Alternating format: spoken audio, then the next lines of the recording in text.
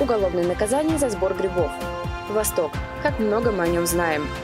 Что случится с планетой, если разрушится озоновый слой? Последние дни молодежного фестиваля.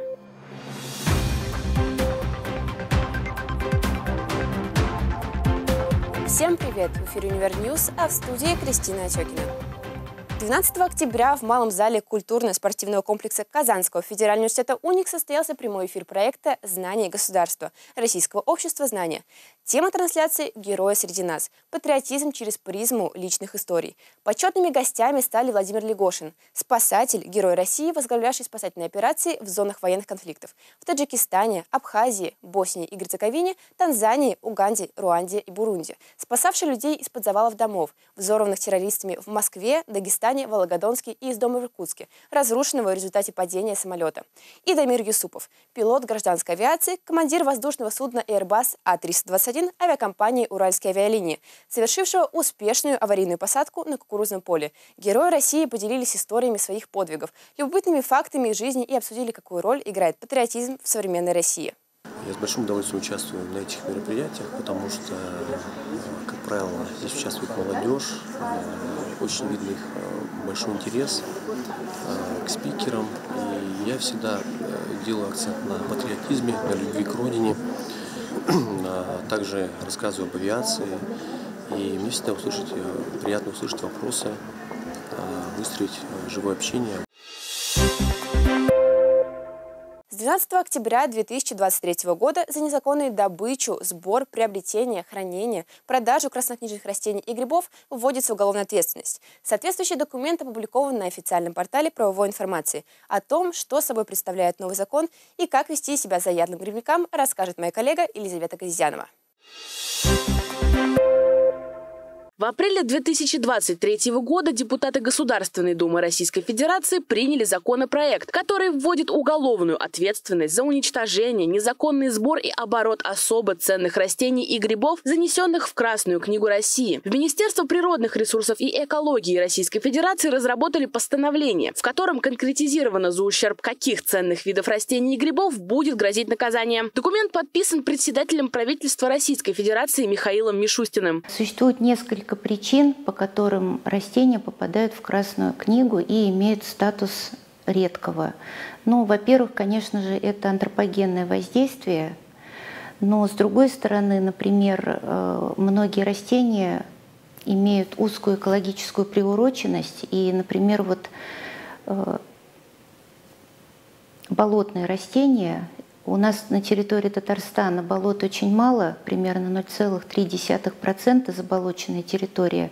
Ну и, соответственно, те растения, которые, жизнь которых связана с болотами, они тоже попадают в ранг редких растений. По наблюдению ученых, численность женьшени настоящего падает из-за низкой семенной продуктивности и нелегального сбора. По тем же причинам быстро истощаются ресурсы радиолы розовой, которая является лекарственным растением. За последние 20 лет резко сократилась численность и площадь произрастания гриба рядовки Мацутаке. Специалисты делают выводы, что причиной этому бесконтрольный массовый сбор и вывоз редкого гриба за рубеж. Практика показала, что только административные штрафы за уничтожение краснокнижных растений растений и грибов нарушителей не останавливают. Поэтому было решено ввести уголовное наказание. В Красную книгу э, попадают растения, которые имеют малое распространение на территории Татарстана и э, их популяции низкой численности.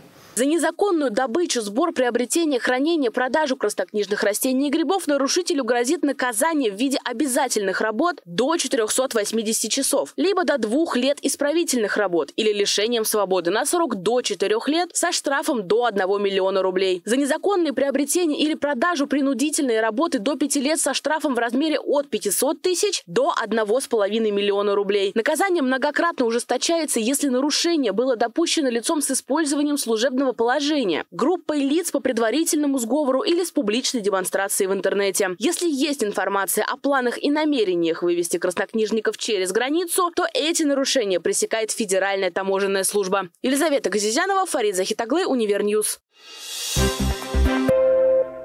В Александровском зале Института международных отношений Казанского федерального университета прошло торжественное открытие третьей конференции «Ковалевские чтения» первого этапа симпозиума «Мировое Россиеведение». С докладами выступили востоковеды и монголоведы из Казани, Санкт-Петербурга, Москвы и Улан-Удэ.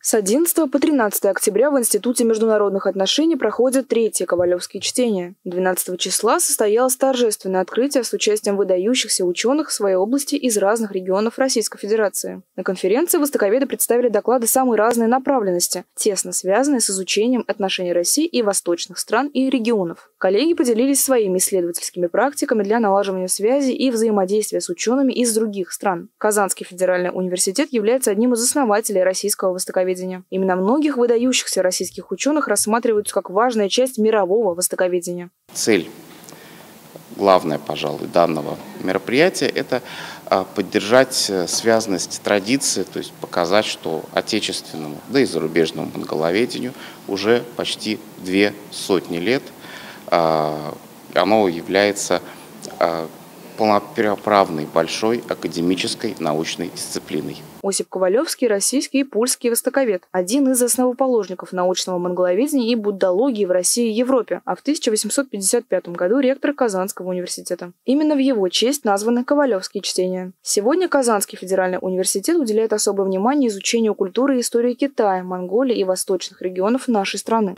Я думаю, события очень важные не только для Казанского федерального университета для многих монголоведческих центров, в том числе и Европы.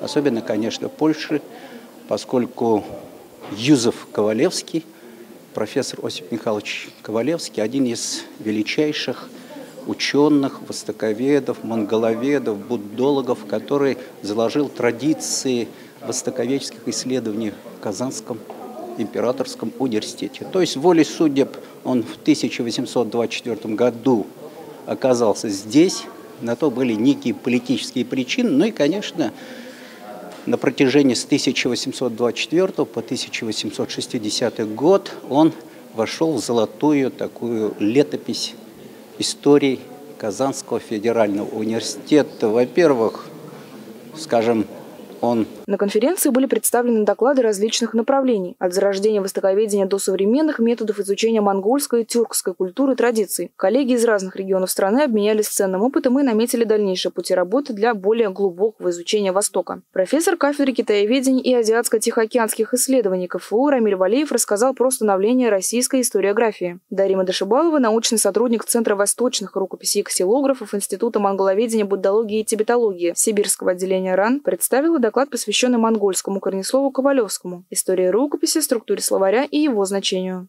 Значимость, конечно, а, а, наверное, действительно а, велика, потому что я так поняла, что посвящается 190-летию кафедре монгольской словесности при Казанском университете.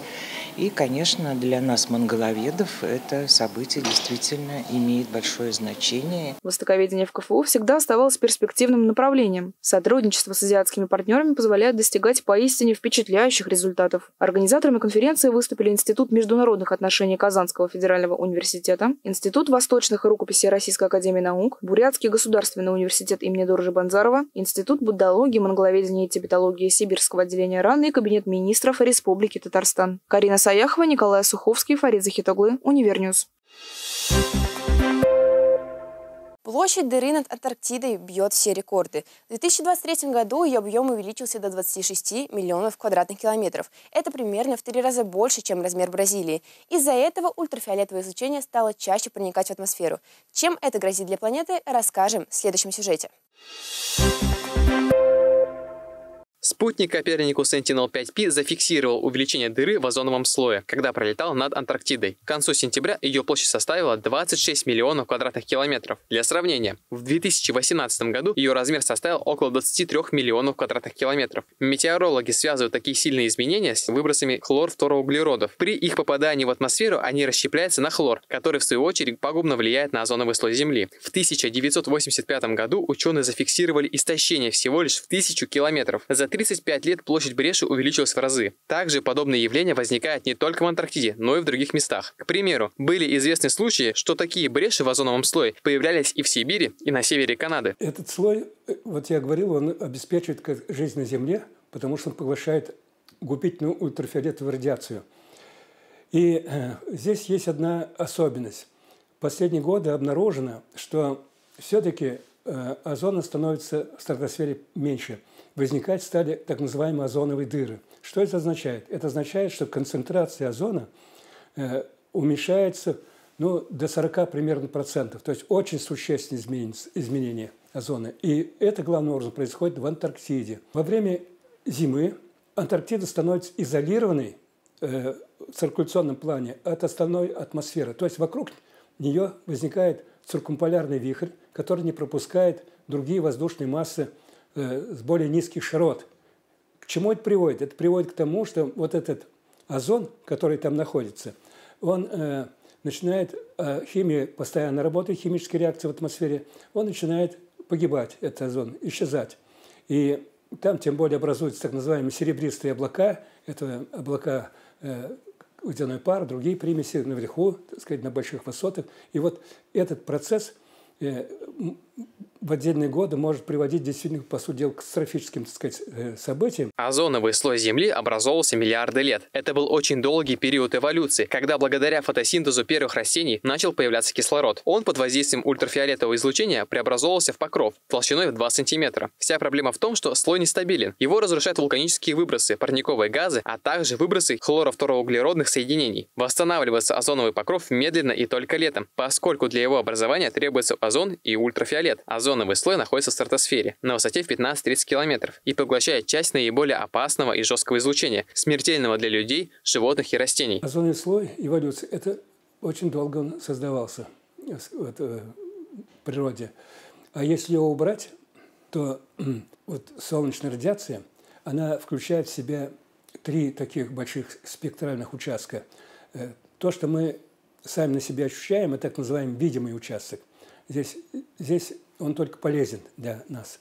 Есть инфракрасный участок, там длинноволновое излучение, но есть вот жесткое так называемое кратковолновое излучение – ультрафиолетовые, она только губительна. Губительна для человека, для растений, для всего. Опираясь на Монреальский протокол, который был подписан в 1987 году, метеорологи утверждают, что озоновый слой должен восстановиться к 2050 году. Но из-за колоссальных выбросов веществ в атмосферу трудно спрогнозировать, когда дыра полностью исчезнет. Поддержание озонного слоя – первостепенная задача. Если допустить его разрушение, то это повлечет за собой необратимые последствия для жизни не только людей, но и всей планеты. Николай Суховский, Фарид Захитоглы, Univer News.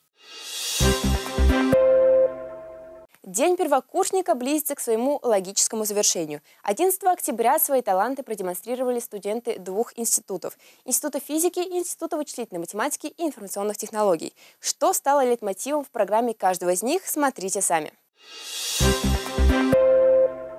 Студенты Института физики затронули тему искусства и того, как много места оно занимает в сердце человека. Декорации представляли собой картинную галерею с работами множества известных авторов. Среди них, например, знаменитый поцелуй Густава Климта. По сюжету главный герой проходит внутреннюю трансформацию и понимает всю важность творчества в своей жизни. В этом ему помогает девушка. Она знакомит его со всеми моментами, которые проживают люди в процессе созидания. Особую атмосферу добавил световой театр, а мультимедийные постановки смогли погрузить зрителя в мир искусства и пронзить чувством прекрасного.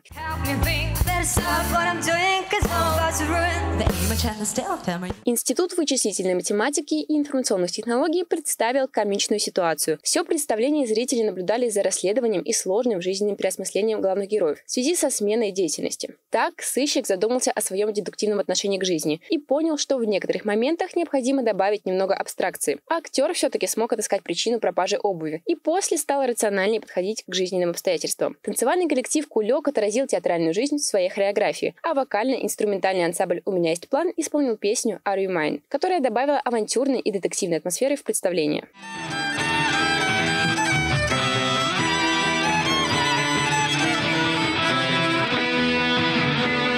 Напомним, что фестиваль продлится до 13 октября. Каждый день в Большом зале культурно-спортивного комплекса «Уникс». Для тех, кто не смог посетить концертные программы вживую, специально ведется трансляция в нашей группе ВКонтакте «Универ ТВ». 12 октября свои номера представит инженерный институт и Институт филологии и межкультурной коммуникации. Начало традиционно в 17.30. Валерия Карташова, Кристина Отекина, Univer News.